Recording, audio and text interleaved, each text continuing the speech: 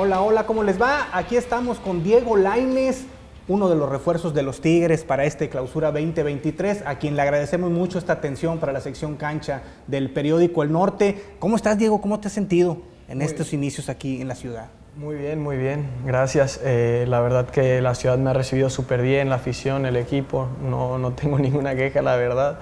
Eh, me está gustando mucho todo, el ambiente, eh, cómo se vive aquí en, en Monterrey el, el, fútbol y la verdad estoy contento de estar aquí en esta maravillosa ciudad, en este espectacular equipo, la verdad que muy contento.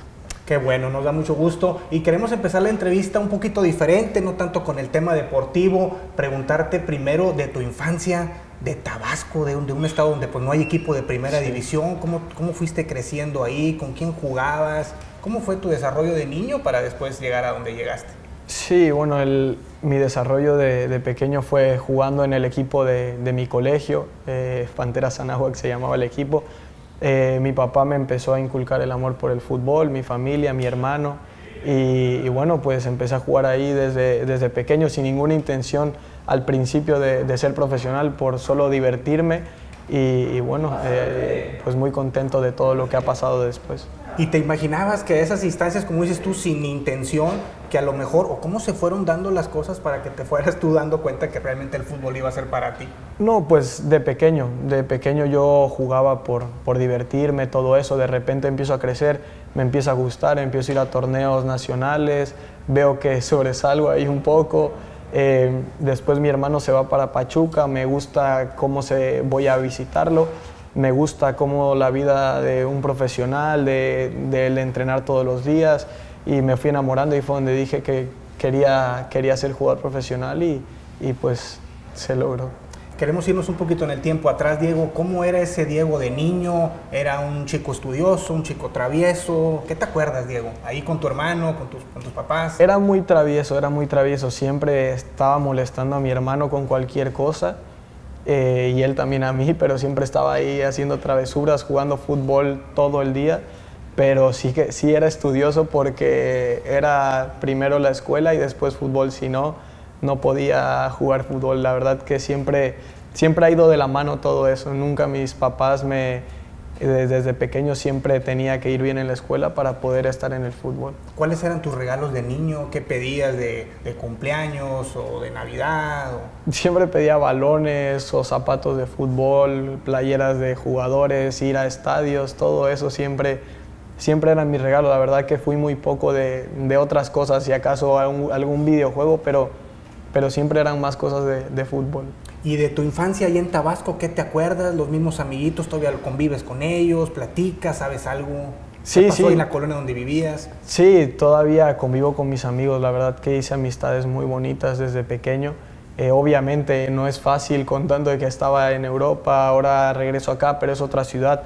Es difícil eh, permanecer con el contacto siempre, pero siempre que voy para allá, de vez en cuando nos intercambiamos un mensaje y sí conservo muchos amigos de la infancia. ¿Qué significa Mauro, tu hermano, en tu vida?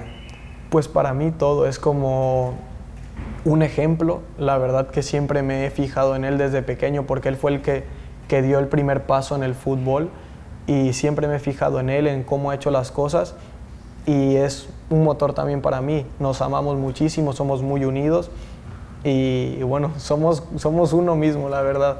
Eh, siempre estamos siempre estamos viendo qué hacer por mejorar uno al otro, siempre estamos en contacto y, y, bueno, siempre nos demostramos el amor que nos tenemos. Y aparte también muy allegado, Diego, a tu papá, ¿verdad? Él siempre muy cerca de tu carrera, siempre al pendiente. ¿Eso, ¿Eso qué significado para ti? Sí, no, mi papá siempre ha estado conmigo, mi mamá también, mi familia, soy una persona muy familiar. Siempre, la verdad que cada quien vive su vida a su manera, yo la he vivido así porque siempre me he sentido feliz, tranquilo al estar cerca de ellos.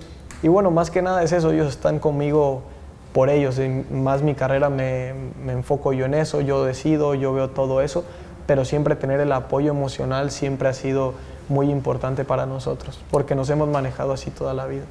Qué bien. ¿Qué pasatiempos tienes, Diego? Ya, ya maduro, ya después de estar unos años en Europa, regresar a México, ¿en qué, en, qué, ¿en qué te entretienes? ¿En qué pierdes tiempo, por decir? Pues me gusta estar mucho con mi familia, con mis amigos. Soy una persona muy normal, la verdad. Todo el mundo me pregunta Soy, tengo 22 años como cualquier otro, me imagino que me gusta salir a comer, me gusta salir a cenar, de vez en cuando ver a mis amigos, estar con mi familia, lo disfruto mucho de estar con mi perro, incluso jugar FIFA de vez en cuando.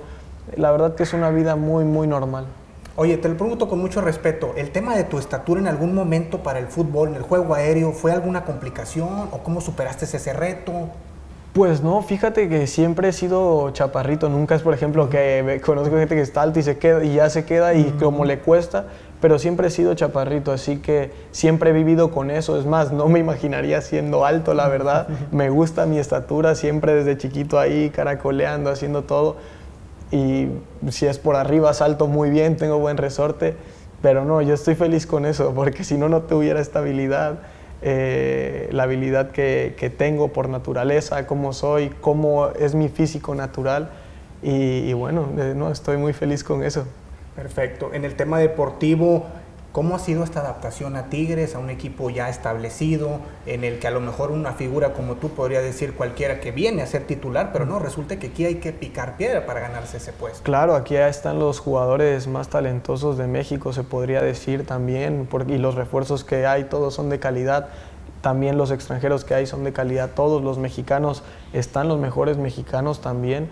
Eh, es, es venir a competir por un lugar. Obviamente siempre con el objetivo puesto, pero sabiendo que es un grupo que vino trabajando junto hace tres meses, un equipo consolidado y es ir poco a poco, tarde o temprano las cosas se están dando muy bien, cada vez que me toca hacerlo lo hago muy bien, afortunadamente, tengo la confianza de todos, pero es poco a poco, poco a poco se van a dar las cosas, poco a poco van a llegar mis objetivos, los personales, los grupales, todo eso con calma cuando uno sabe la clase de compañeros que tiene eh, también cuando tú sabes lo que, la calidad que tienes como jugador, también tienes paciencia en este momento y, sabes que es un equipo que el que esté lo va a hacer muy bien, si te toca entrar lo vas a hacer muy bien, yo si inicio lo voy a hacer bien y el que, y el que entre de cambio también, todo es por un bien eh, del equipo en los últimos años en el fútbol se ha vuelto muy, desde siempre, pero ha tomado mucha fuerza esta palabra del revulsivo, ese jugador que es la primera opción de cambio, como en este caso puede ser tú,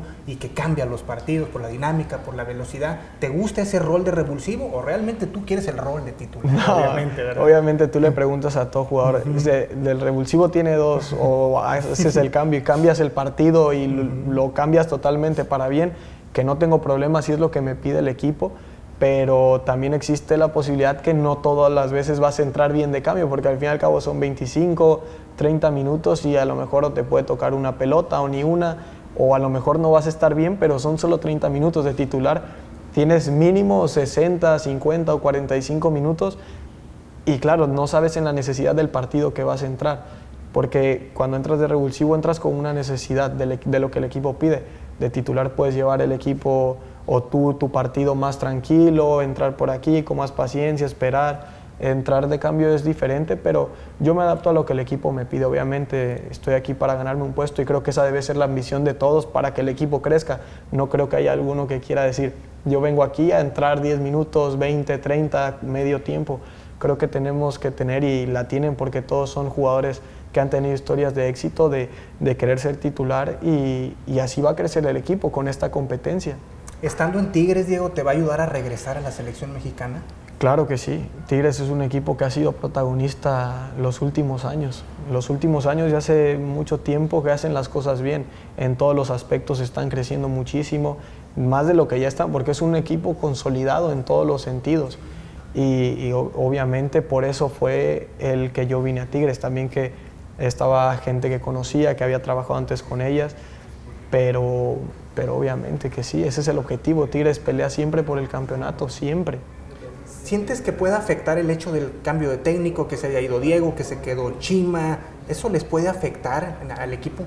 No, yo creo que el equipo sabe lo que quiere. Estamos con un cuerpo técnico experimentado, que han hecho las cosas bien como jugadores, como entrenadores, que han tenido historias de éxito. El Chima es un gran entrenador, lo conozco hace mucho tiempo, no tengo duda que hará bien las cosas aquí. Obviamente nos tenemos que adaptar todos. Yo, por ejemplo, vine con Diego, yo hablé con él, todo eso, vine y estaba ahí cómodo, pero ahora tengo que adaptarme otra vez y conozco al Chima, o sea, no pasa nada.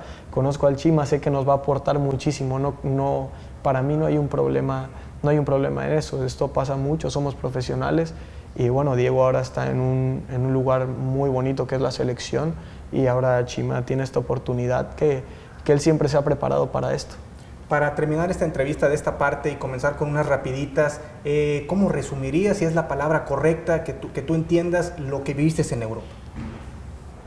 Yo creo que fue una experiencia magnífica estar allá, no te lo cuenta nadie, también hay que tener valor para hacer lo que hice, eh, no cualquiera se va y menos sin pensarlo a los 18 años al, a, a donde está la mejor competencia del mundo, esa es la realidad y bueno, regreso más maduro, eh, con la misma mentalidad, porque siempre me he mantenido por la misma línea, pero con muchas cosas extra que he mejorado, que he aprendido. La verdad yo se lo recomiendo a todos, si está la posibilidad, que obviamente no es fácil que venga un equipo para acá, todos sabemos que no hay muchos jugadores allá, pero es algo que si yo tuviera 18 años y fuera, se presentara otra vez la oportunidad, la tomaría. Y para terminar, ¿te merece algunas palabras o te dice algo que haya incluso nosotros prensa, que haya afición que dice Diego fue, no pudo y tuvo que regresar?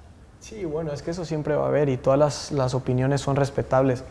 Yo la verdad siempre tengo, eh, gracias a Dios tengo gente que me aconseja muy bien, trato de no, no ver eso porque a veces hay opiniones que no son objetivas, se contra, son contradictorias para generar polémica Dicen que nunca van jugadores, va uno y no juegas dos, tres partidos el primer mes y ya te están matando, ya quieren que te regreses, que eres un fracasado. Pero yo no sé qué tanta gente tiene el valor de hacerlo. Por eso es el hecho de que no hay muchos mexicanos. Cada carrera es respetable. Hay muchos que prefieren estar aquí, está respetable. Cada quien puede hacer con su vida lo que quiera. Yo he hecho con la, con la mía lo que yo he querido y sin importarme las opiniones de, de los demás, pero obviamente a mí no me afectan y lo sé controlar de cierta manera, pero habrá jugadores que a lo mejor sí le afecte. Yo creo que se debe valorar un poco más el esfuerzo que hacemos los jugadores mexicanos en muchos sentidos. Yo, yo no necesito que me halague nadie, ni mucho menos. Sé lo que hago bien y lo que hago mal, pero sé que hay gente y sé que hay personas que sí le pueden afectar. Yo aguanté cuatro años, los cuatro años tirándome con todo pero no pasa nada, esto es el fútbol, esto es la vida y, bueno, cada quien eh, busca su felicidad. Muy bien, vamos a cerrar la entrevista con esta sección de rápidas. Yo te voy a comentar una palabra y tú puedes contestar igual con una palabra o si te quieres extender un poquito más adelante. El América. eh, eh, Eh, no sé, el primer amor. La ciudad de Sevilla. Maravilloso. Gerardo Martino. Eh, un técnico muy inteligente. La selección mexicana. Amor. La carne asada. Está muy rica. ya la probaste. Sí, sí, la probé. La, carne asada sí, de sí, sí, sí. Muy bien. Ricardo Lavolpe. Una persona que, que el fútbol mexicano le debe mucho. Miguel Herrera. Un grandísimo entrenador. El Sporting de Braga. Un equipo que me dejó muchas, muchos aprendizajes y una ciudad maravillosa que vive el fútbol de muy bonita manera. Y la última, el clásico regio, que ya se va a jugar el 18 de marzo, falta muy poco, a nosotros nos encanta este ambiente y, quiero conocer tu opinión sobre, sobre el clásico. Pasión pasión. Sí. Y hay que ganarlo. Claro. Perfecto. Pues te agradecemos mucho, Diego, este, esta, este tiempo que regalas a cancha del periódico El Norte. Te deseamos mucho éxito, que estamos seguros así va a ser. Y pues bueno, muchas gracias, Diego. Gracias a ti. Hasta luego.